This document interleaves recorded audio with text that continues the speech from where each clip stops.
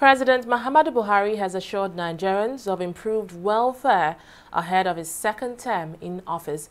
The president made the pledge while receiving the Board of Trustees and Advisory Council of Katsina State Development Fund led by Mamman Nasir at the State House in Abuja. Meanwhile, in his remark, Galadima of Katsina Nasir thanked Nigerians for re-electing the president to serve another term in office.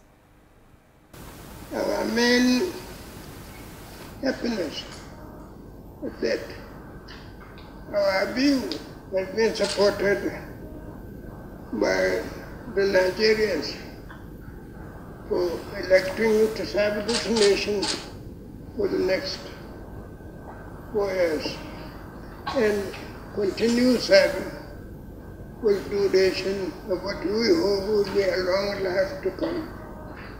We are most grateful to all those who have been helping you. And uh, what is very important, part of it cannot be discussed here, concerns security. And one can only discuss it with some of your officials. I'm very pleased with uh, Nigeria's appreciation of the four years I had because the number of people that turned out in every state I visited, the 36 states, are more than the people you can induce with money or force them.